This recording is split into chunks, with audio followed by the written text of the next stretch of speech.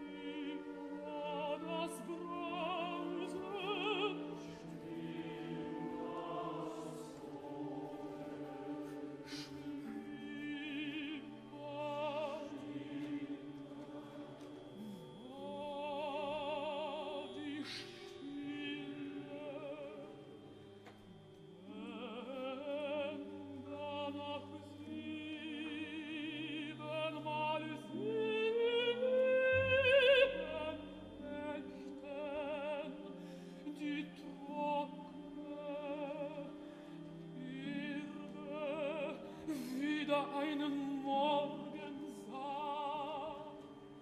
Wie bist du, Himmel, selbst vor deiner Tat erschrocken?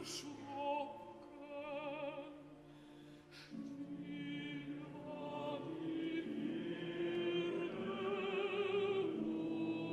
unter dir, gleich einem